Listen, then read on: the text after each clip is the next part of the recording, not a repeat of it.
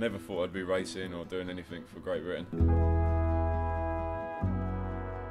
Got into trouble when I was a kid, went out with my friends getting drunk and all that sort of stuff, and then, I don't know, just played basketball and then started racing. And everything changed then, don't drink no more, don't do all that stuff, just go all over the world racing.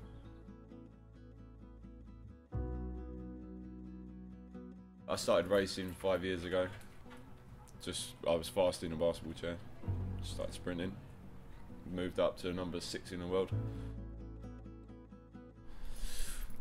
This sport is everything to me. Wheelchair racing is what I do. Basketball, wheelchair racing, they're, my, they're the things I do every day.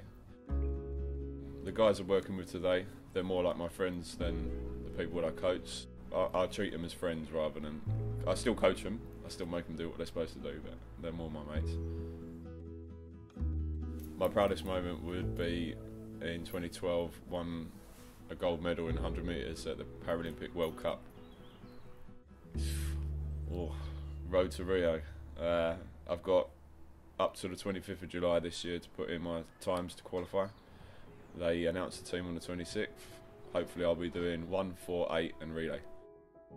It's fast. It's low. It's fast. It might not look fast on the TV, but it's fast. I mean, we're doing 20, 25 miles an hour. You can uh, you can get some speed. It's the thrill.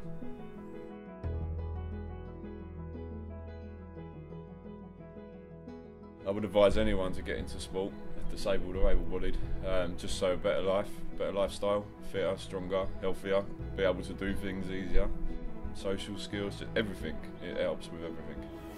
If I won a medal at Rio, I would probably be doing 200 victory laps uh, around the track. It'd be, it'd be the best thing because all the work I've put in and stuff, and uh, it'd be good to come back and, with the lads and show them medals and stuff as well. It'd be good. My name's Richard Chiassaro. I'm a T54 wheelchair sprinter for Great Britain.